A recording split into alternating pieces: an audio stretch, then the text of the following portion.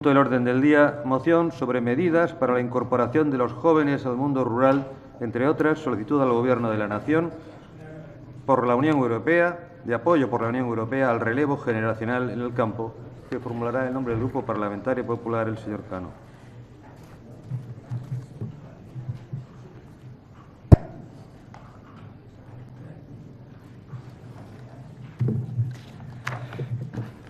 Muchas gracias, señor presidente.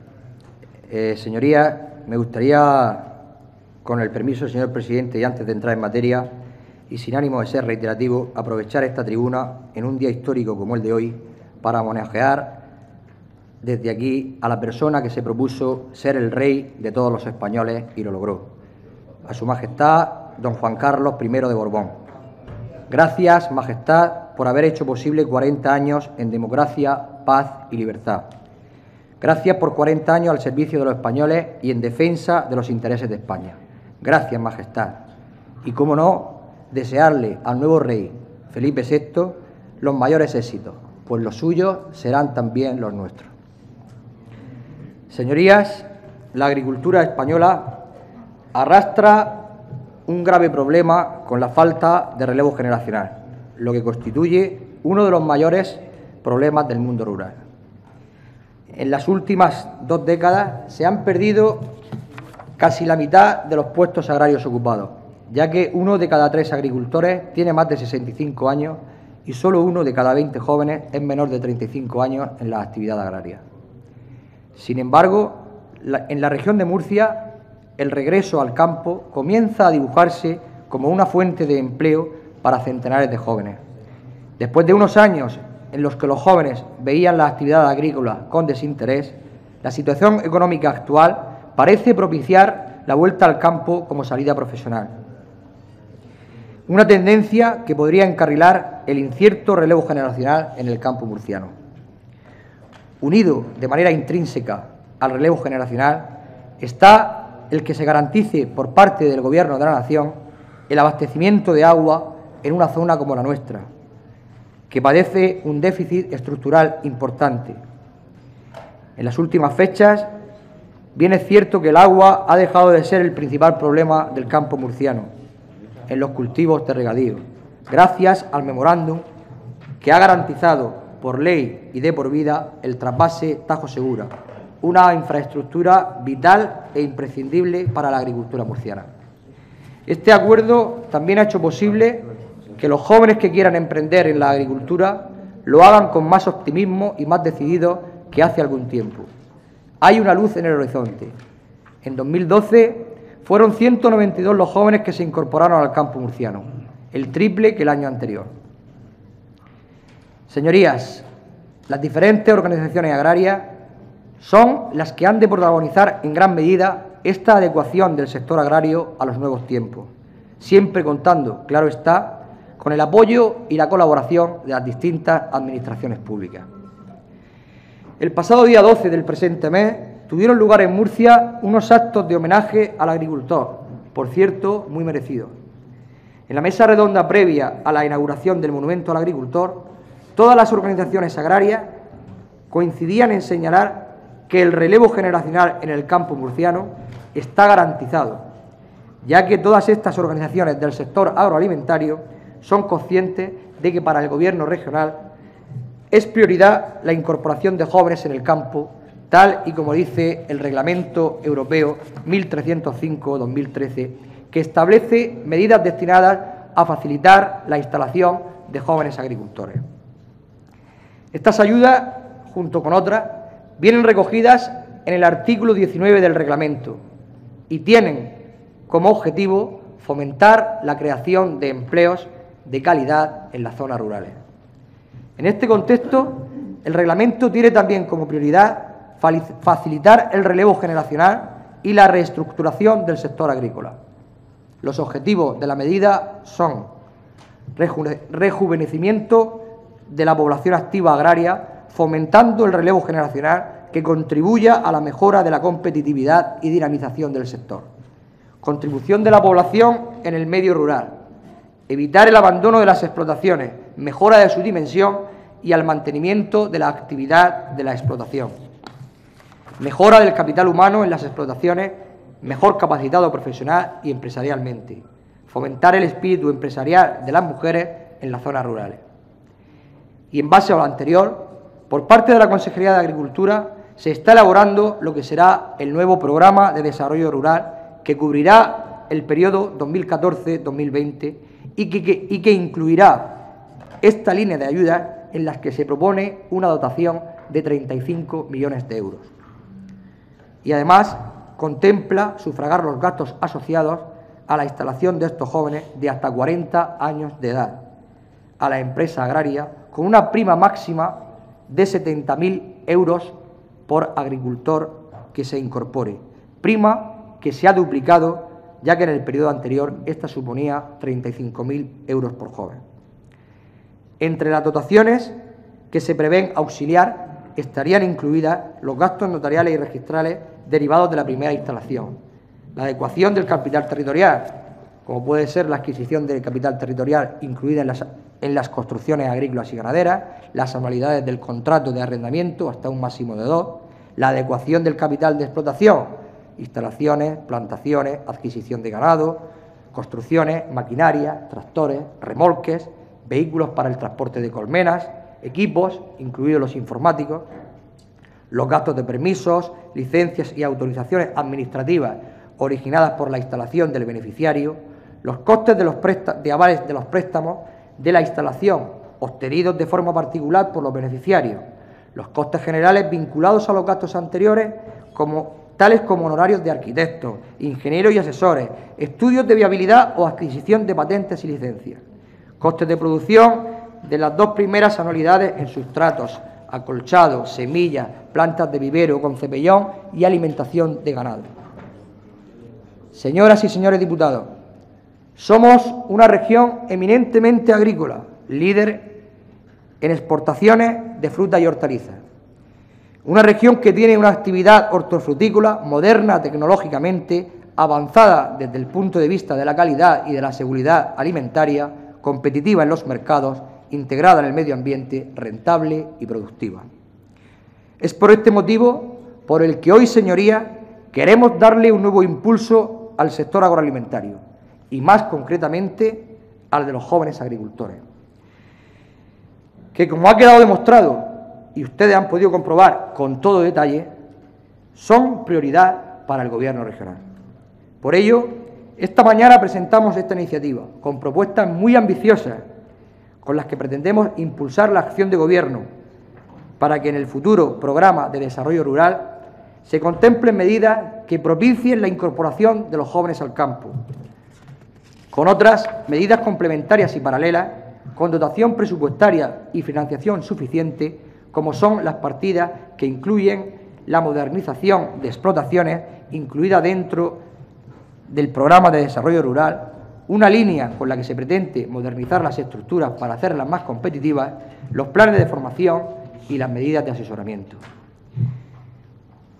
El Grupo Parlamentario Popular pretende con estas medidas asegurar el relevo generacional en el campo murciano e impulsar, como decía anteriormente, la acción de gobierno con un sector que hoy es motor y punta de lanza de nuestra economía. Vamos a ser reivindicativos y exigentes y vamos a seguir defendiendo a nuestros agricultores, como siempre lo hemos hecho, porque además el sector lo merece. Ahora nos toca a nosotros, señorías, actuar desde las distintas administraciones, con seriedad, con responsabilidad y con sentido común. Y contribuir a hacer del medio rural un lugar atractivo para vivir y trabajar. Por todo lo anteriormente expuesto, pido a la Cámara que apoye esta moción que hoy presento en nombre del Grupo Parlamentario Popular y que tiene un claro beneficiario, el sector agrícola regional y nuestros jóvenes. Señoras y señores diputados, señor presidente, muchas gracias. Gracias, señor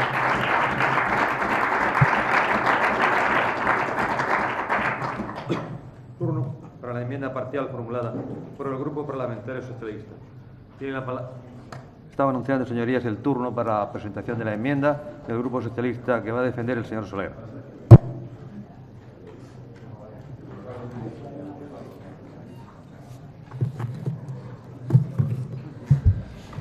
Gracias, señor presidente.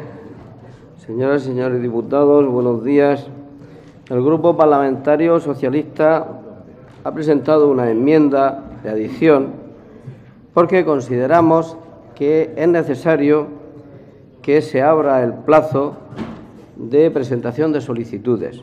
Y reconozco un error en la redacción de antemano, que es incorrecta la pronunciación que damos en una de las frases. Bueno, yo diría que, que las prisas. Eh, el campo español, señorías, está envejeciendo a una velocidad preocupante. Los jóvenes abandonan las explotaciones de sus padres y, sobre todo, en los años de bonanza, estos que otros sectores pues han ofrecido a la juventud rural unas mejores expectativas.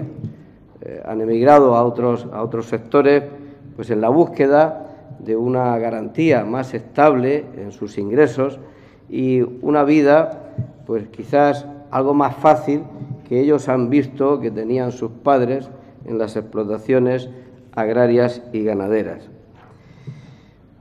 Un estudio eh, realizado pues, nos dice que en la región de Murcia el 65% de los titulares de explotaciones ya tiene más de 60 años. Es preocupante esta situación. Un dictamen del Comité Económico y Social de la Unión Europea nos indica, contempla, que en la Unión Europea, de cada joven menor de 35 años, son 10 los que ya han cumplido los 55. Pero, señorías, si nos venimos a España, nuestro país, la situación es más preocupante, porque ese mismo estudio nos, indica que de cada menor de 35 años, son 20 los agricultores o ganaderos, los titulares de explotaciones que ya han pasado de los 55 años. Por lo tanto, debe ser motivo de preocupación para nosotros esta situación y debemos de intentar de eh, solicitar, instar a las administraciones regional, autonómica y comunitaria a que se adopten medidas encaminadas a que el campo eh, se vaya rejuveneciendo y que no sean los titulares de explotaciones tan mayores con la edad tan avanzada que en estos momentos tenemos. Se dan las circunstancias idóneas, señorías, en este momento, para que muchos jóvenes eh, vuelvan a fijarse en el, banco, en el campo, vuelvan la vista hacia las explotaciones de sus padres, porque la situación en la que en este momento eh, nos encontramos, situación económica, de paro, eh, muchos jóvenes no ven un horizonte claro, están en paro y no saben qué va a ser de, de su futuro y muchos estarían dispuestos, están dispuestos en este momento a volver a la explotación. Pero en Murcia, señorías, no se han estado dando las circunstancias idóneas para que eso ocurra. En el actual periodo solo, solo se han abierto dos convocatorias por parte de la comunidad autónoma. La primera fue el 15 de diciembre del año 2008 para el periodo para el año 2009 y se comenzó a pagar en el primer trimestre del año 2010. Es decir, al tercer año se pagaron 76 expedientes. Consideramos desde el Grupo Parlamentario Socialista que en este periodo 2014-2020 no debería de ocurrir lo mismo y tenemos que adoptar medidas para que esta cantidad de jóvenes que estarían dispuestos a incorporarse a la agricultura y a la ganadería tengan la oportunidad de poder acceder a estas ayudas. La segunda fue el 5 de julio del año 2012 y fue para el 2013. En esta fueron 110 los expedientes que se pagaron. Quedan para el 2014 unas 40 eh, solicitudes sin pagar que imaginamos que a lo largo del año serán satisfechas. Un estudio de COA del año 2013, señorías, nos eh, indica que en el último año han aumentado las solicitudes de primera instalación en un 79% en España. Y si nos vamos a una comunidad como es la de Aragón, en un 143%. En nuestra región no ha sido posible, porque solo se han abierto dos periodos, eh, dos convocatorias Solo los jóvenes de la región de Murcia han tenido dos oportunidades de acceder a las solicitudes. Y por eso el Grupo Parlamentario Socialista presenta esta enmienda de adición, porque creemos que es posible compatibilizar el actual programa de desarrollo rural regional, que tenemos conocimiento que las comunidades autónomas tienen hasta el día 22 de julio de plazo para presentarlo, pero solamente indicando una coletilla donde diga que eh, tendrá que adaptarse al programa una vez aprobado, es perfectamente legal, señorías, y por eso entendemos que es posible. Y si nos remontamos al... Señor Soler, debe terminar. Gracias, señor presidente, y voy terminando a, eh, las convocatorias anteriores, pues nos damos cuenta que algunas de ellas se han pagado incluso hasta en el tercer año. Por lo tanto, señorías, y voy terminando, solo decir que espero que se acepte esta enmienda de adición. Consideramos que es totalmente legal. Eh, creemos que solo haciendo una salvedad en la convocatoria de que la que no se ajustara tendría que ser modificada, podría ser perfectamente legal. Y lo que es importante, señorías, puede haber remanentes del actual periodo que si de no estar el plazo abierto tendría que utilizarse, eh, no, eh, no, decimos desde el Grupo eh, Parlamentario Socialista que se vaya a perder, pero podría tener la necesidad el Gobierno regional de utilizarlo en otras partidas que serían, a nuestro criterio, menos interesantes, menos importantes, menos necesarias que para los jóvenes agricultores. Por lo tanto, indicar que vamos a apoyar la moción. Es verdad que el tercer punto es un brindis al sol, instar a la Unión Europea a que haga. Termino, señor presidente. Ya se hicieron los repartos, están en manos de las administraciones de los países miembros y son las administraciones de los países miembros las que tienen que adecuar eso. Pero, señor Cano, le vamos a votar a favor esta moción y espero sensibilidad por parte del Grupo Parlamentario Popular para apoyar esta enmienda. Muchas gracias. Gracias, señor Soler. Señor Pujante, tiene la palabra.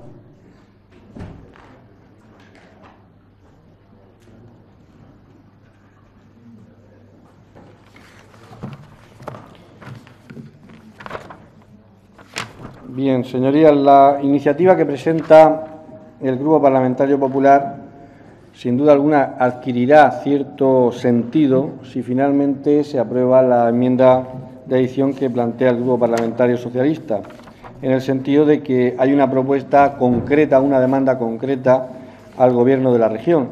Lo otro son propuestas genéricas que evidentemente se presupone que el propio Gobierno de la región de Murcia ya lleva a cabo porque si no, habrían que entender dicha iniciativa dicha moción como una especie de reprimenda al Gobierno de la región de Murcia en tanto en cuanto no está llevando a cabo aquello que la propia moción demanda. ¿no?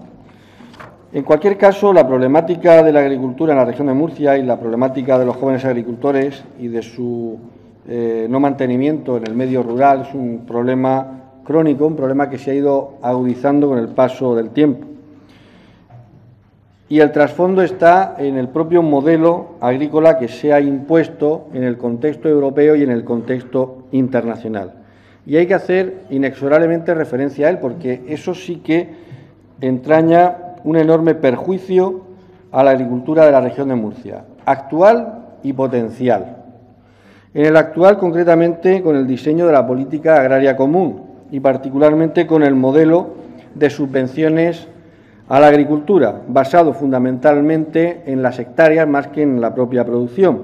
De ahí que la duquesa de Alba, o Mario Conde, se lleven ingentes cantidades de millones de euros de subvenciones que no van precisamente a los productores reales en materia agraria. La duquesa de Alba y Mario Conte, que por cierto son íntimos amigos también de, de su majestad. Y otro de los problemas, y otro de los problemas que tiene que tiene la agricultura de la región de Murcia, y esto es serio, y esto es serio, ustedes se podrán reír o menospreciar el problema, pero el problema vendrá y entonces habrá que explicárselo a los agricultores, como tuvo el otro día que explicárselo también a aquellos que, aquellos que fueron engañados precisamente en la producción de energía fotovoltaica. Pues otro tanto lo mismo puede ocurrir, pero el problema es que si desgraciadamente ocurre, lo que presumiblemente puede ocurrir, salvo que se adopten medidas de presión y medidas de, reivindicación y de, crítica y de oposición, salvo que eso se haga, pues puede suponer un auténtico, eh, una auténtica hecatombe para la agricultura murciana. Me estoy refiriendo a las negociaciones del Tratado de Libre Comercio que se están llevando a cabo actualmente entre la Unión Europea y Estados Unidos, bajo una cláusula impuesta por los Estados Unidos, que es la cláusula del secreto. Es decir, mientras se lleven a cabo las negociaciones, estas no podrán plantearse bajo ningún concepto ningún tipo de filtración, aunque con Wikileaks y con otros recursos pues se están produciendo ya algunas filtraciones de documentos que han sido puestos encima de la mesa en estos procesos de negociadores. Eh, las consecuencias pueden ser realmente dramáticas para la agricultura de la región de Murcia si se concreta un tratado de libre comercio favorable a los intereses comerciales de los Estados Unidos, especialmente en la agricultura.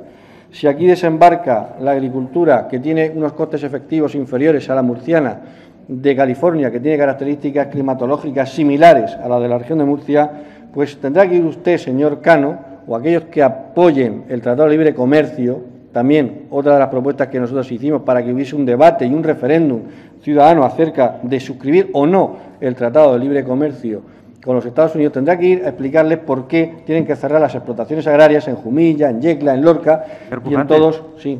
Le, creo que debo advertirle que se atenga a la cuestión. Porque... Sí.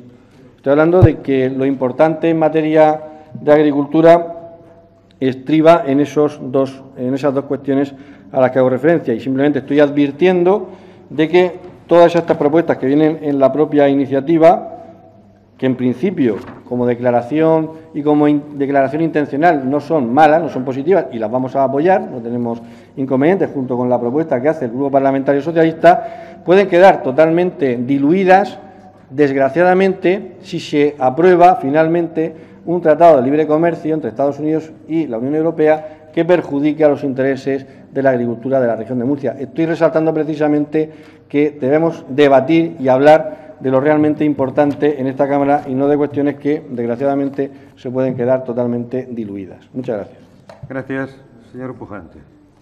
Tiene la palabra de nuevo el señor Cano.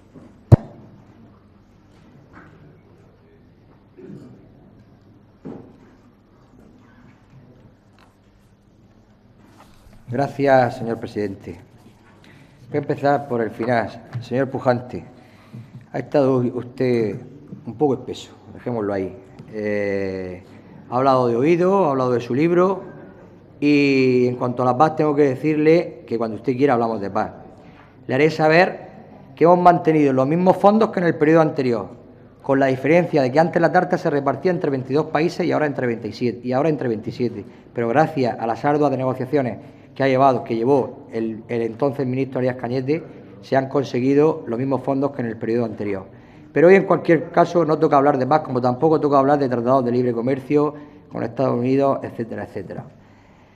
Eh, señor Soler, errar es de humano y cuando hay buena voluntad eh, es totalmente subsanable un error ortográfico, o sea que no hay, no hay ningún problema.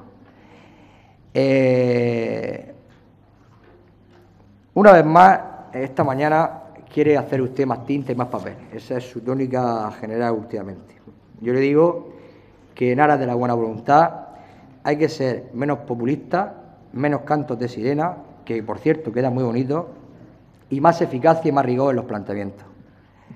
menos decretos nacionales de sequía y medidas concretas que combatan y ayuden a paliar la sequía. ¿Sabe usted, señor Soler, que su enmienda de edición eh, no es del todo posible? Porque, mire, nosotros quisiéramos que fuese mañana, no dentro de dos meses, pero usted lo ha dicho, eh, el PDR está eh, en elaboración actualmente y todavía no está, aprobado. La idea eh, es tenerlo aprobado en julio. Entonces, el procedimiento es que se da, como piden las organizaciones agrarias, un plazo mínimo de dos meses para la presentación de solicitudes. Se envían los documentos. Este año se esperan miles de solicitudes. Y como le decía, para este gobierno regional es prioridad el apostar por la incorporación de los jóvenes al campo, por lo que se dobla el presupuesto que este año va a rondar los 35 millones de euros, el doble que en el periodo anterior. Y no se excluirá a ningún joven que reúna los requisitos y que se quiera incorporar. Y además se intentará por todos los medios la mayor agilidad en el pago de las ayudas, ya que así lo dice Europa y estas ayudas vienen de Europa. Y esperemos que así sea. Paralelamente se sacará la orden de modernización de explotaciones. Perdón. Una vez acabado el plazo de presentación de instancia, hay que subsanar errores. Entonces, como usted bien sabe, eh, estas eh, solicitudes son de concurrencia competitiva, por lo, por lo que hay que resolver todos los expedientes a la vez.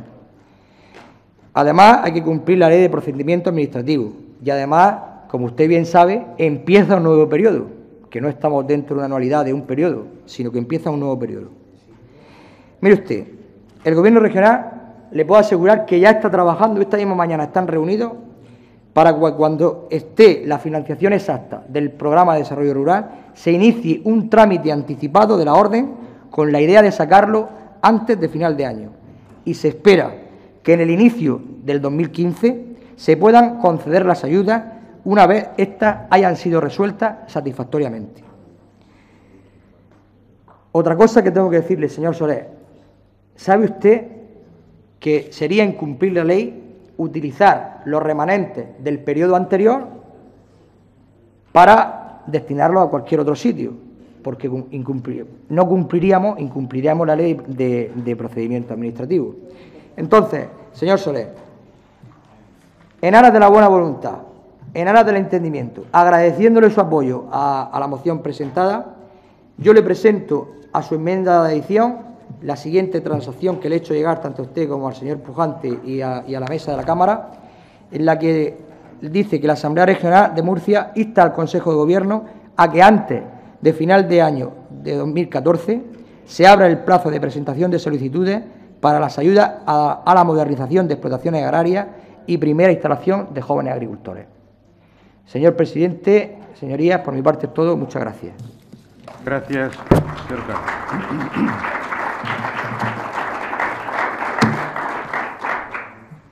Señor Soler, debo preguntarle a los efectos de si acepta la oferta para decidir el, texto a votar.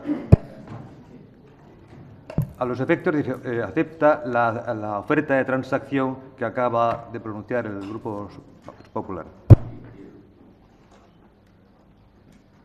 No, señor, señor, mm, el, turno, señor Soler, el turno ese es únicamente, dice así el reglamento, para manifestar si acepta o no. Sí, se acepta, se acepta la transacción. Muchas gracias. Por consiguiente, señorías, el, texto a votación será el, inicial con este segundo punto que han convenido los grupos. Vamos a proceder a la votación. Votos a favor. Señoría, la, propuesta ha sido aprobada por unanimidad.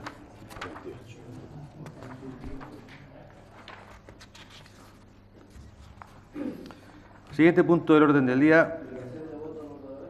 Sí, señor, si la desea usted, la tiene. Señor Pujante, señor Soler, sí, sí, claro. Sí, gracias, señor presidente. Hemos votado a favor porque consideramos que más vale esto que nada.